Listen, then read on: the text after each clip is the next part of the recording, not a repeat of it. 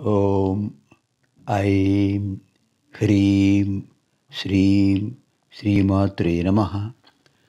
नमो देव्यै महादेव्यै शिवायै सततं नमः। नमः प्रकृत्यै भद्रायै नियताः प्रणतास्मताम्।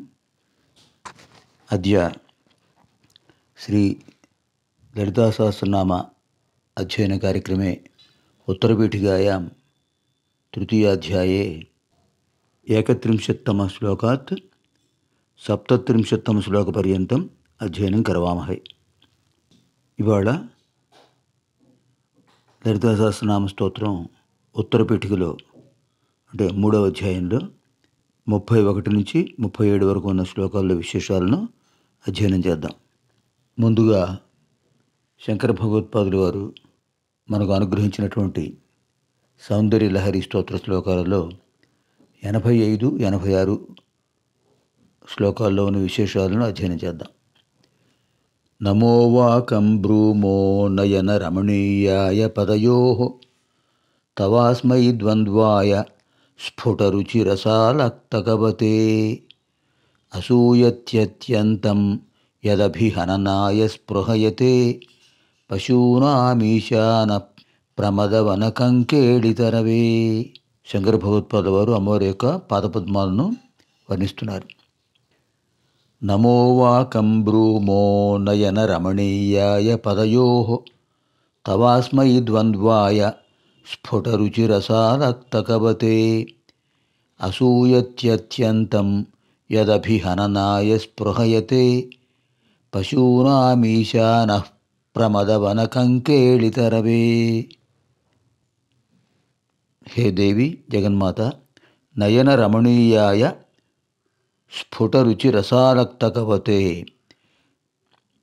నేత్రములకు రమణీయత్వాన్ని కల్పించేటటువంటివి స్ఫుట రుచి రసాలక్తకవతే స్పష్టంగా ప్రకాశిస్తూ ఉన్నటువంటి లాక్షారస రసము చేత లాక్షారసము అంటే లత్తుగా రసం అంటారు లాక్షారసము చేత తడుపబడినటువంటిది పదయోహో నీ పాదముల యొక్క అస్మై ద్వంద్వాయ ఈ జంటకు నీ పాదపద్మములకు నమోవాకం నమస్కార వాక్యమును బ్రూమహ చెప్తున్నాము నమస్కారం చేస్తున్నాము. కారణం ఏంటంటే పశూనామీశాన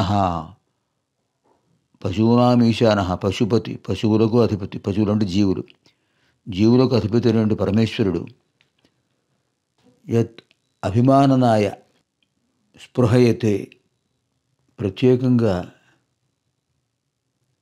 అశోక వృక్షం అమ్మవారి పాదతాడనం కోసం ఎదురుచూస్తోంది. పుష్పవృక్షాలకు దోహద చర్యలు ఉంటుంటాయి అశోక వృక్షాన్ని అమ్మవారు తన పాదతాడనంతో స్పృశిస్తే తన పాదాలతో స్పృశిస్తే అది పుష్పిస్తుంది అని ఒక విశేషమైనటువంటి ఆలంకారిక వచనం. అది ఇక్కడ చెప్పారు. పరమేశ్వరుడు చూశాట ఆ అశోక వృక్షం అమ్మవారి యొక్క పాదయుగ తాడనాన్ని కోరుతోంది. అభిమాననాయ. దానికోసం అమ్మవారి పాదతాడనం కోసం స్పృహయతే కాంక్షిస్తున్నది. ఏమిటిది? ప్రమదవన కంకేళితరవే. ప్రమదవన కంకేళి తరవే. ప్రమదవనం అంటే ఉద్యానవనం. ఉద్యానవనంలో ఉన్నటువంటి కంకేళి తరువు అంటే అశోక వృక్షం అలా చేసినప్పటికీ అది చూసి పరమేశ్వరుడు అసూయతి అత్యంతం. ఆయన అసూయతో చూస్తున్నట్ట. అసూయ పడుతున్నాడు. ఎందుకని? అమ్మవారి పాద తాడనాన్ని కోరుతోంది అశోక వృక్షం ఆ భాగ్యం దానికి దక్కింది అని అసూయతో చూస్తున్నట్ట. ఇక్కడ విశేషం ఏంటంటే నాయిక నాయక శృంగార ప్రక్రియల్లో పదతాడనము అనేటటువంటిది ఒక ప్రక్రియ. మనకు పారిజాతాపహరణ కావ్యంలో నంది తిమ్మన ఈ విషయాన్ని అద్భుతంగా వర్ణించాడు. సత్యభామ యొక్క పాదతాడనం శ్రీకృష్ణ పరమాత్మకు కరిగింది. అది శృంగార ప్రక్రియలో నాయిక నాయకుల మధ్య జరిగే ఒక విశేషమైనటువంటి ప్రక్రియ. అలాంటి దాన్ని ఇక్కడ సూచిస్తున్నారు. అమ్మ నీ పాదాల యొక్క తాడనమును అపేక్షిస్తోంది అశోక వృక్షం. అది చూశాడు పశుపతి ఈశ్వరుడు. అసూయపడుతున్నాడు. ఎందుకంటే ఆ భాగ్యం దానికి కలిగింది కదా. అది ఇక్కడ విశేషం. ఇంకా ఎనభై ఆరో శ్లోకంలో అక్కడ కూడా అమ్మవారి విశేషమైనటువంటి పాదపద్మముల పాద పాదపద్మములకు అలంకారంగా ఉన్నటువంటి అందేలు వాటి యొక్క ధ్వనిని గురించి అందెల రవళిని గురించి వర్ణిస్తున్నారు ఎనభై ఆరో శ్లోకంలో. मृषा कृत्वा गोत्रस्खलनमथ वैलक्ष्यनमितं ललाटे भर्तारं चरणकमले ताडयति ते। चिरादन्तशल्यं दहनकृतमुन्मूलितवता तुलाकोटिक्वाणैः किलि नरिपुणा मृषा कृत्वा गोत्रस्खलनमथ वैलक्ष्यनमितं లలాటే భర్తారం చరణకమలే తాడయతి తే చిరాదంతశల్యం దహనకృతమున్మూలితవత తులాకోటిక్వాణై కిలికిలితమీశానరిపుణా ఇక్కడ విశేషమైనటువంటి నాయిక నాయిక సంభాషణ ప్రక్రియలో ఉండే ధ్వనిని విశేషమైన అలంకారిక ప్రక్రియను ధ్వనింపజేస్తున్నారు ఇక్కడ ఈ శ్లోకంలో. అమ్మా మృష పొరపాటున గోత్రస్ఖలనం గోత్రం అంటే నామం ఇక్కడ పేరు. గోత్రస్ఖలనం ఒక పేరుకు బదులు ఇంకొక పేరు ఉచ్చరించడం.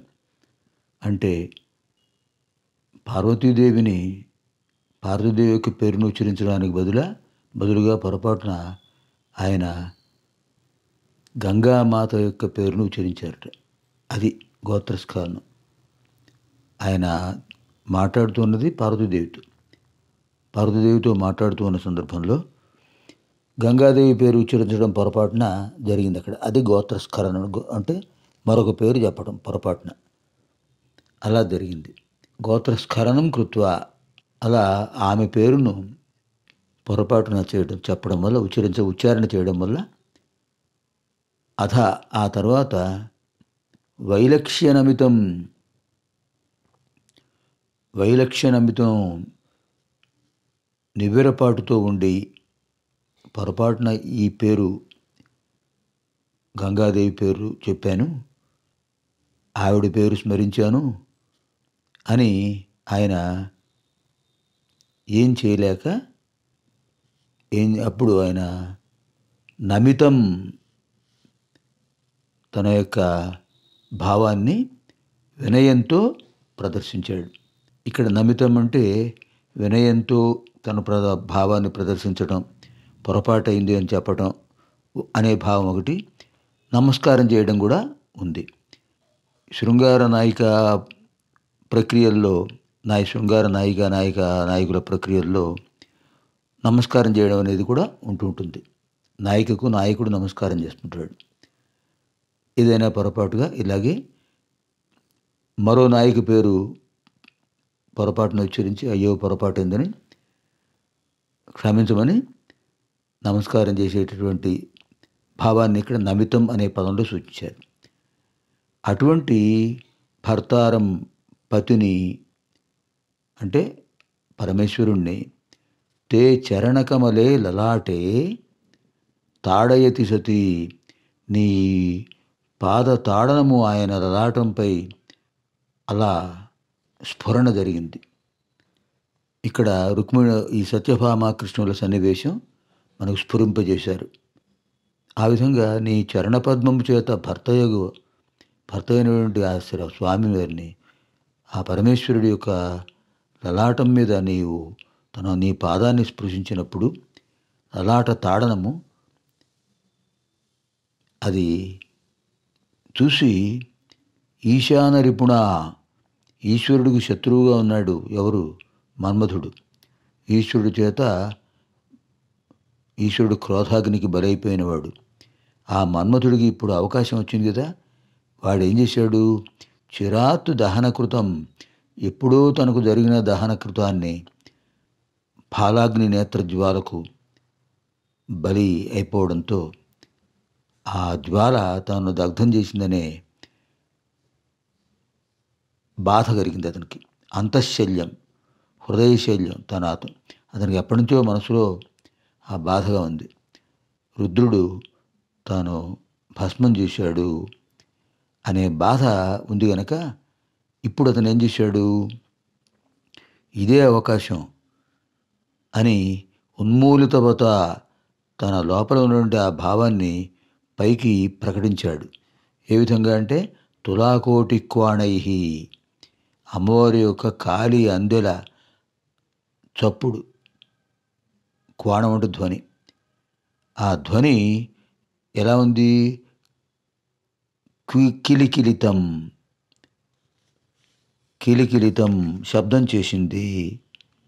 కిలికితం ఈశానరిపుణ. ఆ ఈశానరిపుడు ఈశ్వరుడికి శత్రువును అని మన్మథుడు కిలకిలా నవ్వేట ఇప్పుడు నాకు అవకాశం దొరికింది. అమ్మవారి పాదపద్మాలు స్వామివారి లలాటం మీద తగిలేటప్పటికీ నాకు చాలా సంతోషంగా ఉంది. ఆ లలాటల లలాట నేత్రంతోనే కదా ఆయన నన్ను అర్థం చేసింది. ఇప్పుడు అమ్మవారు చేసిన పనికి నాకు సంతోషం కలిగిందని కిలకిలా రావం చేసేట. అది కిలకిలితం ఈశానరిపుణ. అతని చేత అలా కిలకిలా రావం చేయబడింది. ఎందుకని? తులాకోటి క్వాణై అమ్మవారి పాదపద్మాలకు అలంకారంగా ఉన్నటువంటి అందెల రవళి. అమ్మవారి పాదస్పర్శతో అందెల రవడి కూడా కలిగింది అందరి ధ్వనించే ఆ విశేషాన్ని ఇక్కడ చెప్పారు. తల్లి జగన్మాత పొరపాటున అకస్మాత్తుగా నీ దగ్గర ఆ సపత్ని గంగాదేవి పేరు చెప్పి పొరపాటున ఏం చేయడానికి తోచక వెలవెలబాడుతో నీకు నమస్కరించాడు కదా ఆయన. స్వామి అప్పుడు నువ్వేం చేసావు నీ పాదపద్మంతో అతని నుదుట స్పృశించావు. అది చూశాడు మన్మథుడు ఎప్పటి నుంచో అతనికి హృదయశల్యంగా బాధ కలుగుతుంది. దాన్ని ఇప్పుడు బయటకు బయటపెట్టాడు. ఎలా? నీ పాదపద్మాలకున్న మంజీర ధ్వనిని విని అది తన కినకిలారావంగా వ్యక్తం చేసేట. అలా చెప్పారు ఇక్కడ. విశేషమైనటువంటి భావం. ఈ రెండు కూడా విశేషమైన నాయికా నాయక శృంగార ప్రక్రియల్లో భాగాలుగా వ్యక్తం చేశారు. ఇప్పుడు మనం ఉత్తర పీఠికలో ఉన్నటువంటి ముప్పై ఒకటో శ్లోకం నుంచి ముప్పై ఏడవ శ్లోకంలో శ్లోకం వరకు ఉన్నట్టు భావాలను ఒకసారి చూద్దాం. హయగ్రీవ స్వామి వారు అగస్త్యుల వారికి చెప్తున్నారు. సరాజాపారవశ్యేన తురంగం వామతంగజం ఆరుహ్యాయాతి నికటం దాసవత్ ప్రణిపత్య చ. ఇది ముప్పై ఒకటవ శ్లోకం. సరాజాపారవశ్యేన తురంగం వామతంగజం ఆరుహ్యాయాతి నికటం దాసవత్ ప్రణిపత్య చ. ఏమిటి దీనికి అర్థం? ఆ రాజు పరవశం అయిపోయి వాడు గుర్రం మీద వేగంగా వచ్చేస్తాడట. లేదా ఏనుగు మీద వస్తాడట. ఏనుగును ఆరుహ్య ఎక్కి యాతి నికటం ఈ భక్తుడి దగ్గరికి వస్తాడు. ఎవరైతే అమ్మవారి నామాన్ని అమ్మవారి సహస్రనామ స్తోత్రాన్ని జపం చేశాడో. ఎలా చేశాడు వాడు? మనకు ముప్పై శ్లోకంలో ఒకసారి ద్వితీయార్థం చూడాలి. త్రిరాత్రమ్య పఠేదేతత్ శ్రీదేవి ధ్యాన తత్పర అని చెప్పారు కదా. మూడు రోజుల పాటు రోజు రాత్రి సమయంలో మూడు రోజుల పాటు అమ్మవారి యొక్క విశేషమైనటువంటి సహస్రనామాలను పూర్ణిమకు ముందు రోజు పూర్ణిమ నాడు పూర్ణిమ తరువాత రోజు ఈ మూడు రోజులు. అది త్రిరాత్రం అంటే. త్రిరాత్రం నామ పూర్ణిమాయా పూర్వదినం పూర్ణిమాదినం పూర్ణిమాయా పూర్ణిమానంతర దినం. త్రిరాత్రం. ఆ త్రిరాత్రం మూడు రాత్రుల్లోనూ యహ్ పఠేదేతత్ శ్రీదేవి ధ్యాన తత్పర. ఎవరైతే అమ్మవారి సహస్రనామాలను మూడు రా త్రిరాత్రాల్లో జపిస్తారో వాడికి వశమైపోతాడు మహారాజు అయినా సరే. అది ఇక్కడ భావం. ఒక దేశాధినేత ఒక దేశాధిపతి ఒక దేశానికి రాజు అయినా కూడా వాడు ఈ సాధకుడు ఎప్పుడైతే అమ్మవారి సహస్రనామాలను పఠించాడో త్రిరాత్ర సమయంలో ఆ ప్రభావానికి లోనై సహా రాజా ఆ రాజు పారవశ్యేన పరవశంతో అంటే తనకు తెలియకుండానే తనకు తెలియకుండానే అమ్మవారి శక్తి వాడిని అలా పరిగెత్తిస్తుంది. తురంగం వా మతంగజం మ- మతంగజం ఆరుహ్య. గుర్రాన్ని కానీ ఏనుగును కానీ ఎక్కి యాతి నికటం వాడి దగ్గరికి వస్తాడట. ఎవరైతే సహస్రనామ స్తోత్రం చేసి అమ్మవారి అనుగ్రహం పొందాడో అతని దగ్గరికి వచ్చి ఏం చేస్తాడు? దాసవత్ ప్రణిపత్యచ అహం తవ దాసోహం దాసోహం తవ అని చెప్తాడట. దాసోహం తవ నేను నీకు దాసుణ్ణయ్యా నేను నీకు దాసుణ్ణి నువ్వు ఏం చేయమంటే అది చేస్తాను అని అంతటివాడు అంతరాజు కూడా వచ్చేసి దాసవత్ ప్రణిపత్యచ నమస్కారం చేస్తాడు. ప్రణిపత్య ప్రకృష్టం నిపత్య ప్రణిపత్య పూర్తిగా ఈ సాధకుడికి పాదాలపై పడిపోతాడు. నిపత్య అంటే పడి. ప్రకృష్టం నిపత్య ప్రణిపత్య పూర్తిగా సాష్టాంగ నమస్కారం చేసేస్తాడు. అంతటివాడు కూడా. సహస్రనామాలు చదివి అమ్మవారి అనుగ్రహం పొందినవాడి కాళ్ళకు ఆ రాజు నమస్కారం చేసి మహానుభావ ఏం చేయమంటారు? మీకేం కావాలి? నేను మీ అధీనుణ్ణి అని చెప్తాడట. అంతటి విశేషమైన ఫలితం కలుగుతుంది అని ఇది ఇక్కడ చెప్పారు. ఇది మనకు అశో అతిశయోక్తిగా అనిపిస్తుంది. కానీ అక్కడ ఆ భావన మనకు ముఖ్యంగా తెలుసుకోవాల్సింది. ఏమిటంటే అమ్మవారి పాదాలను సేవించే వారికి అమ్మవారి యొక్క సహస్రనామాలను ధ్యానం చేసేవారికి పారాయణ చేసేవాళ్ళకు కూడా ఎంత గొప్ప ఫలితం వస్తుందంటే దేశాధినేతలకు కూడా అటువంటి ఫలితం రాదు. దేశాధినేతలకు కూడా ఆ భాగ్యం కరగదు. అంత గొప్ప సౌభాగ్యం కలుగుతుందనే భావం ఇక్కడ వ్యక్తమవుతుంది. తర్వాత ఏం చేస్తారు వాళ్ళు? తస్మై రాజ్యం చ కోశం చ ముప్పై రెండవ శ్లోకం. తస్మై రాజ్యం చ కోశం చ దద్యాదేవ సంగత రహస్యనామ సాహస్రం యః కీర్తయతి నిత్యశ. యః కీర్తయతి నిత్యశ రహస్యనామ సాహస్రం. ఎవరైతే అమ్మవారి యొక్క అద్భుతమైన రహస్యనామ సహస్రాన్ని అంటే నామ సహస్రాన్ని నిత్యశ ఎల్లవేళలా ప్రతిరోజు కూడా కీర్తయతి కీర్తిస్తుంటారో తస్మై రాజ్యంచ కోశించ దద్యాత్ ఏవ వశంగత. తస్మై అలాంటి వాడికి రాజ్యంచ రాజ్యాన్ని కోశంచ ధనాగారాన్ని దద్యాదేవ సమర్పిస్తాడు.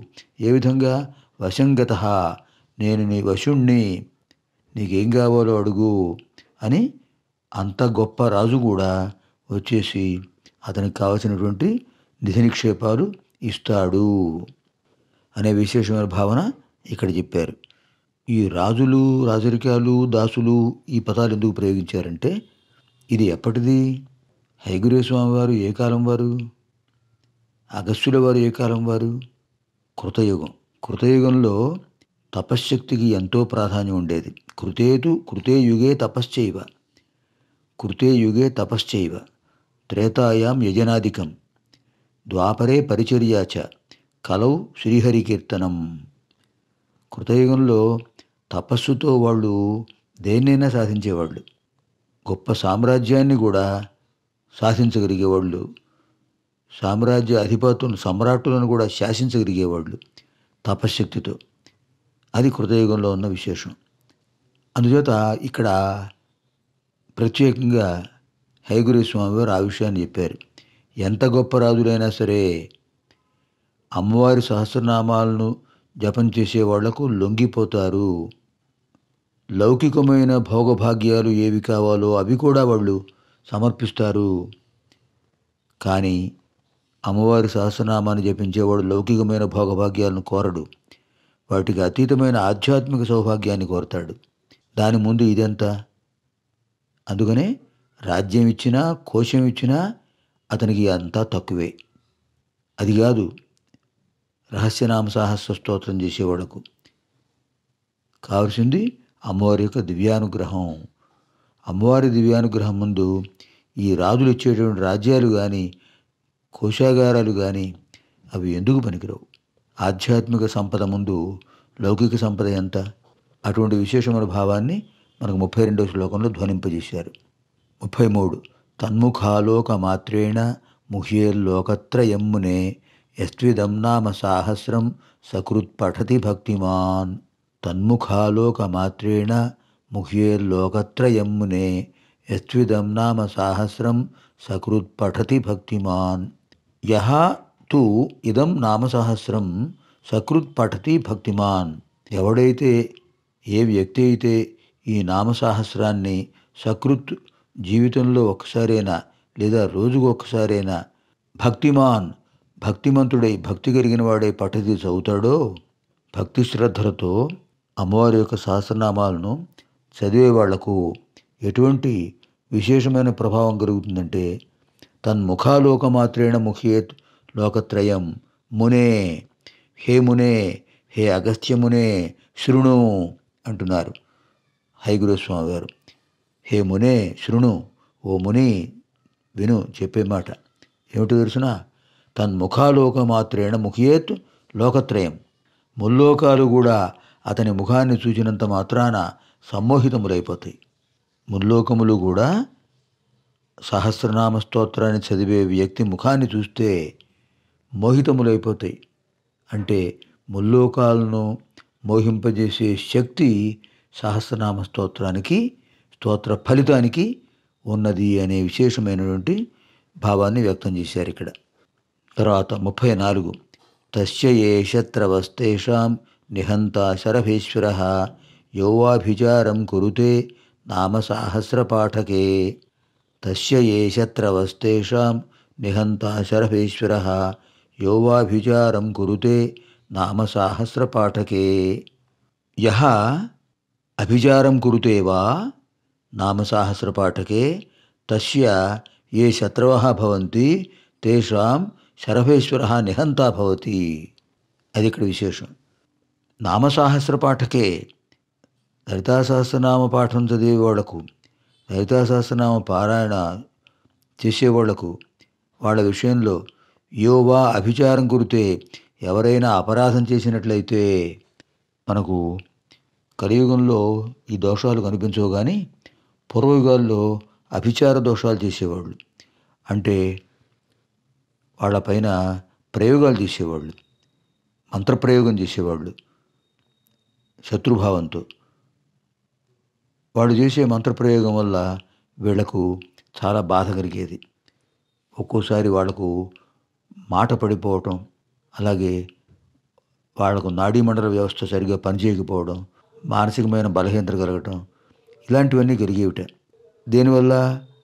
ఈ మంత్ర ప్రభావం వల్ల దుష్ట వాళ్ళు మంత్ర ప్రయోగాలు చేయడం వల్ల. అలాంటివి ఆ యుగాల్లో జరిగేవి. ఇప్పుడు ఈ ఇక్కడ చెప్పడం చెప్పే విశేష విషయాలు విషయాలు కూడా కొంత ఆకారానికి సంబంధించినవిగా మనం చూసుకోవచ్చు. అయినా అలాంటి దోషాలు కూడా పోతాయి అని అర్థం ఇక్కడ.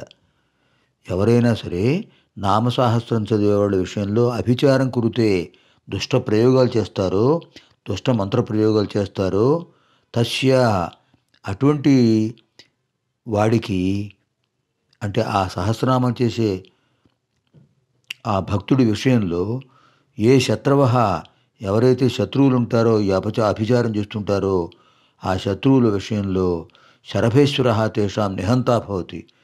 శరభేశ్వరుడు ఆ శత్రువును నశింపజేస్తాడు. నామసాహస్ర పాఠం చేసే వాళ్ళకు ఎవరైతే అపకారం చేస్తారో వాళ్ళను శరభేశ్వరుడు నశింపజేస్తాడు. ఎవరైనా శరభేశ్వరుడు అమ్మవారి యొక్క ఆగ్రహమే శరభేశ్వరుడు రూపంలో వస్తుంది. శరభ మృగం ఉండే ఉండేది పూర్వం. మనకు పురాణాల్లో చెప్తుంటారు శరభ మృగం ఎనిమిది కాళ్ళు ఉంటాయట దానికి. సింహం ఆకారంగా ఉంటుంది.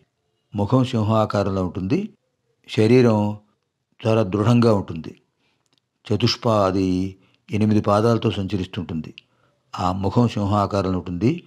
కొమ్ములు మాత్రం గేదెలు ఉంటాయి సరే మహిషములు. వాటికి మహిషానికి ఉండే కొమ్ములు అంటే ఉంటాయి వాటికి. కొమ్ములు ఉంటాయి కూరలు ఉంటాయి సింహం. శరీరం అంతా ఏనుగు ఆకారంలో ఉంటుంది. అది విశేషమైన విచిత్రమైన మృగం అది. శరభ మృగం. మనకు ఆ యుగాల్లో ఉండేదని పురాణాల్లో చెప్తుంటారు. అలాంటి శరభ మృగం ఆకారంలో అమ్మవారి ఆగ్రహం వచ్చేసి వాళ్ళని నశింపజేసేస్తుంది వాడిని శరభేశ్వరుడు అంటారు. ఇంకా ముప్పై ఐదో శ్లోకంలో చెప్తున్నారు. నిర్వ నివర్చ్యతత్క్రియా మహన్యాత్ తం వై ప్రత్యంగిరాస్వయం ఏ క్రూరదృష్ట్యా వీక్షంతే నామ సాహస్ర పాఠకం నివర్చ్యతత్క్రియా మహన్యాత్ తం వై ప్రత్యంగిరాస్వయం. ఏ క్రూరదిష్ దృష్ట్యా వీక్షంతే నామ సాహస్ర పాఠకం నామసాహస్ర పాఠం చేసే నామసాహస్రాన్ని పఠించే వాళ్ళను వాళ్ళను ఎవరైతే క్రూర దృష్ట్యా వీక్షంతే క్రూర దృష్టితో చూస్తారో వాళ్ళను వాళ్ళపై కోపం ప్రదర్శిస్తూ చూస్తారో వాళ్ళకు అపకారం చేయాలని వికటమైన దృష్టితో చూస్తారో అలాంటి వాళ్ళను హన్యాత్ సంహరించేస్తుంది. ఏమిటి సంహరించేది? నివర్చతత్క్రియాం నివర్చతత్క్రియాం. వాళ్ళు ఏరి క్రూరభావంతో వాళ్ళ ఈ నామసహస్ర పాఠకులను హింసించాలని ప్రయత్నం చేస్తారో వాళ్ళ యొక్క ఆ ప్రక్రియ ఏదైతే ఉందో దాన్ని నివర్చ నశింపజేసేస్తారు. అంతేకాదు ప్రత్యంగిరా స్వయం ప్రత్యంగిర అంటే అమ్మవారి యొక్క క్రోధాగ్ని జ్వాల. అంగిర అంటే నిప్పులు. అంగారము అంగిర విశేషమైన అంగారములతో కూడిన దుష్టు అంగిర. ప్రత్యంగిర అంటే అమ్మవారి యొక్క క్రోధాగ్ని జ్వాలలతో వస్తే అలా మీదకు వచ్చేస్తుంది. క్రోధాగ్ని జ్వాలలు అమ్మవారి యొక్క ఆగ్రహం క్రోధాగ్ని జ్వాలలుగా వచ్చేస్తుంది. దాన్ని ప్రత్యంగిర అంటారు. ఆ ప్రత్యంగిర అనే శక్తి స్వయంగా హన్యాత్ తమ్ ఆ అపకారం చేసేవాడిని హన్యాత్ నశింపజేసిస్తుంది. అది అక్కడ విశేషం. ఏ క్రూర దృష్ట్యా వీక్షంతే నామసాహస్ర పాఠకం. నామసాహస్రం చేసే సాహస్ర పాఠం చేసేవాళ్ళను ఎవరైతే క్రూర దృష్టితో వీక్షిస్తారో అలాగే ఎవడైతే తత్క్రియాం వాడు అపకార క్రియం చేస్తాడో అపకారం చేయాలనే ఒక భావంతో వాడిని హింసించడానికి వస్తాడో వాడి యొక్క తత్క్రియాం ఆ ప్రక్రియ ఏదైతే ఉందో అపకార ప్రక్రియ దాన్ని నివర్త్య నశింపజేసి వాణ్ణి తమ్ హన్యాత్ తమ్ వాణ్ణి హన్యాత్ సంహరించేస్తుంది ప్రత్యంగిరా. అమ్మవారి యొక్క ఆగ్రహ జ్వాల ప్రత్యంగిరా రూపంలో వాణ్ణి సంహరించేస్తుంది. ఎవరైతే మంత్రప్రయోగం చేస్తూ అలాగే నామసాహస పాఠకుణ్ణి హింసించడానికి ప్రయత్నం చేస్తారో అలాంటి వాళ్ళను అమ్మవారి యొక్క క్రోధాగ్ని జ్వాల ప్రత్యంగిరా మంత్రం అనేటటువంటి రూపంలో వచ్చేసి వాడు ఏ ప్రక్రియ చేస్తాడో అభిచార ప్రక్రియ దాన్ని తిప్పికొట్టి వాడిపైనే అది ఆవహించేటట్టు చేస్తుంది. అంటే పూర్వం ఈ అభిచార హోమాలు చేసేవాళ్ళు మనకి ఈ రామాయణంలో కనిపిస్తుంది. రావణాసుడు గురుడుకు ఇంద్రజిత్తు రామలక్ష్మణులను సంహరించడం కోసం అభిచార హోమం చేస్తాడు. దుష్టశక్తుల్ని ప్రయోగించడం కోసం. అలాంటి స్థితులు వస్తుంటాయి అన్నమాట. అలాంటివి జరిగినప్పుడు ఏమవుతుంది? ఈ మంత్రశక్తి ఏదైతే ఉంటుందో సాధకుడిలో ఆ సాధకుడు యొక్క మంత్రశక్తి వల్ల వాడి వాడు ఏ ప్రయోగాన్ని చేస్తాడో ఏ కృత్యాశక్తిని పంపిస్తాడో ఏ అంగిరాశక్తిని పంపిస్తాడో అది ప్రత్యంగిరాశక్తి అయి ప్రతిరూపంగా మళ్ళీ అదే శక్తి వీడి మీద ఎవడు ప్రయోగించాడో వాడి మీదకి వచ్చేసి వాడిని నశింపజేస్తుంది అది అక్కడ విశేషం. అలాంటిది జరుగుతూ ఉంటుంది జరుగుతుంది అని చెప్పారు ఇక్కడ. తత్క్రియాం హన్యాత్ అంతేకాదు ఆ క్రియ చేసిన వాడిని తమ్ వాడిని హన్యాత్ చంపేస్తుంది. ప్రత్యంగిర రూపంలో ఆ అమ్మవారి యొక్క క్రోధాగ్ని జ్వాల.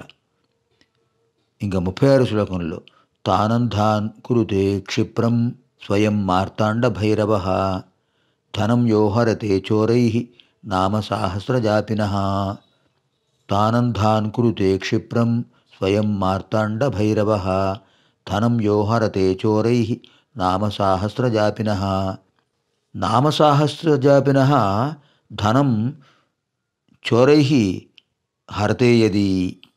నామసహస్ర జపం చేసే వాళ్ళ యొక్క ధనాన్ని ఎవరైనా దొంగలు అపహరిస్తే ఏమవుతుందో తెలుసునండి మార్తాండ భైరవ స్వయం క్షిప్రం తాను అంధాన్ కురితే వాళ్ళందరినీ ఒక్కసారిగా అంధురం చేసేస్తట మార్తాండ భైరవుడు.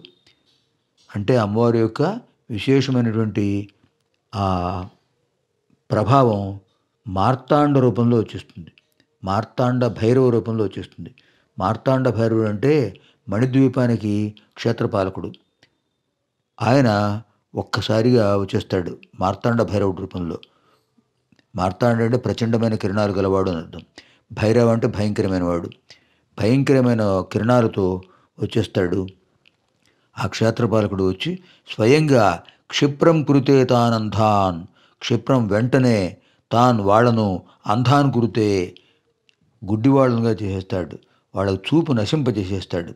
దాంతో వాళ్ళు ఎటు వెళ్ళాలో తెలియక వాళ్ళలో ఎక్కడొక్కడ ఏ నూతులోనో గోతులోనో పడి వాళ్ళు నశించ నశిస్తారన్నమాట. అటువంటి విశేషమైన ప్రభావం ఉంటుంది అమ్మవారి యొక్క ఆగ్రహ జ్వాల. అమ్మవారి భక్తులను హింసించడానికి ఎవరు ప్రయత్నించినా కూడా అమ్మవారి యొక్క ఆగ్రహం ఆ రకంగా మార్తాండ భైరవ రూపంలో క్షేత్రపాలకుడు రూపంలో ప్రత్యంగిరా రూపంలో ఒక్కసారి విరుచుకుపడుతుంది వీళ్ళ మీద ద్రోహులు ద్రోహ శక్తుల మీద వి- విచ్ఛిన్న శక్తులు ఉంటాయి వాటి మీద. ఇంకా చివరి శ్లోకం ముప్పై ఏడు. ఎత్ర కుత్ర స్థితం వాపి క్షేత్రపాలోని హంతితం ఇక్కడ పాఠాంతరం పాఠంలో మనకు ఎత్ర ఎత్ర స్థితం వాపి అని ఉంది పాఠాంతరంలో ఎత్ర కుత్ర స్థితం వాపి అని ఉంది అర్థం ఒకటే ఎత్ర కుత్ర ఎక్కడైనా ఎత్ర ఎత్ర ఎక్కడెక్కడ? ఎత్ర ఎత్ర అంటే ఎక్కడెక్కడైతే ఎత్ర అంటే ఎక్కడైనా ఎక్కడ పడితే ఎక్కడ అని అర్థం. రెండింటికి సుమారుగా అర్థం ఒకటి.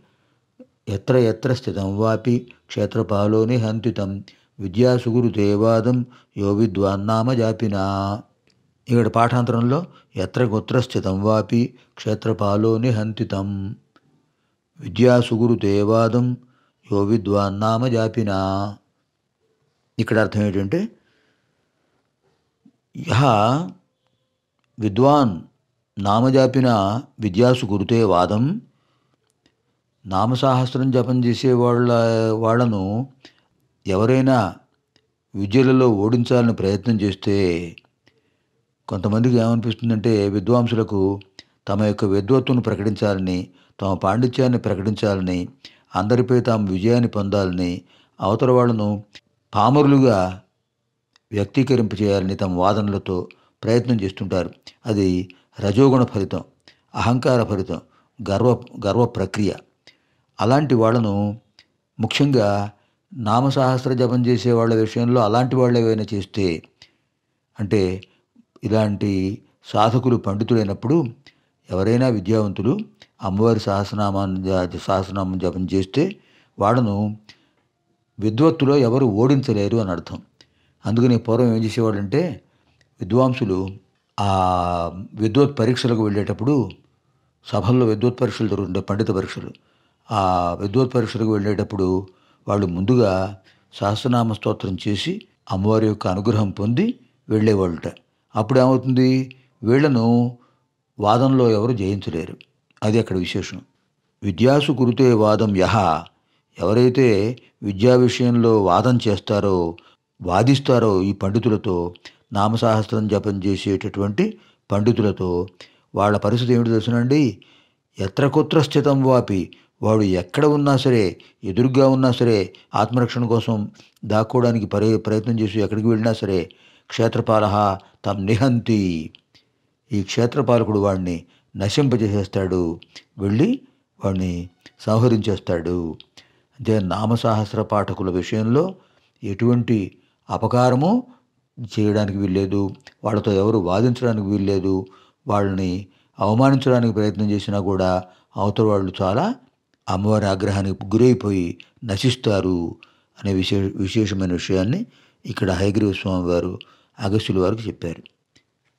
ఇవాళ ముప్పై ఒకటి నుంచి ముప్పై ఏడు వరకు ఉన్న శ్లోకాలు అధ్యయనం చేశాం. రేపటి కార్యక్రమంలో ముప్పై ఎనిమిది నుంచి నలభై రెండో శ్లోకం ఉన్న విశేషాలను అధ్యయనం చేద్దాం. पुनर्मिला आगामी कार्यक्रम। दिव्यां, भव्यां, सुबोधां च शुद्धां, अर्थप्रदायिनी, जननी, बहुभाषाण वंदे गीर्वाण भारती स्वस्ति। सर्वेभ्यः श्रीदेवी करुणाकटाक्षप्राप्तिरस्तु, तथास्तु।